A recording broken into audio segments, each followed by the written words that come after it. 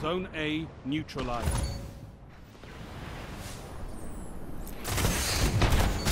Zone C locked. Double down. Zone A secure. Enemy captured Zone C.